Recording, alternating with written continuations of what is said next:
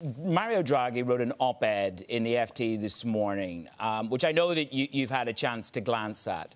Banks need to lend funds at zero cost, since this is the way of becoming a public policy vehicle. Neither regulation nor collateral rules should stand in the way of creating all the space that is needed in the bank balance sheet and that the guarantees should not be based on credit risk of a company.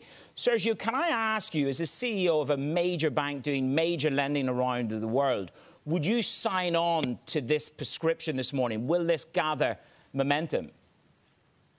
Well, look, the, you know, in principle, yes, uh, but the devil is in the details. I, I do think that uh, banks uh, uh, uh, uh this time are not part of the problems, are definitely now uh, part of the solution. We want to be part of the, the solution.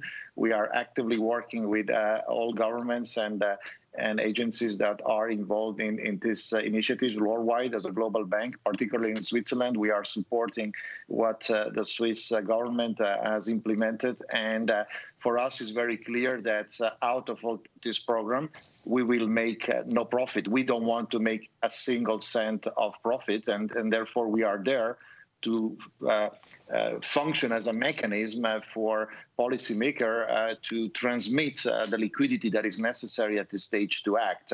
now, what we have to pay attention is to exactly uh, making sure that why banks are strong and are coming in strong into this uh, cycle that we don't infect the banking system with with with problematic uh, problems that will need to be resolved in the future. But we take very seriously our role, and uh, we are well prepared for that.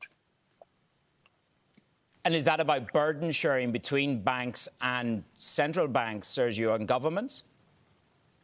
Well, burden uh, sharing, I think that, uh, as I said before, uh, uh we are making our part. We are very flexible. By the way, uh, all our employees, our our people are working extremely hard uh, to serve clients, to stay close to clients, and you know, and, and and putting a lot of of pressure to you know an existing pressure that all of us have in any part of society. So we are making our part, and and uh, as I said before, we want to be part of uh, of the solution. And uh, definitely, uh, I'm glad that for once, uh, banks uh, at this stage are at least that they are not a part of the problem.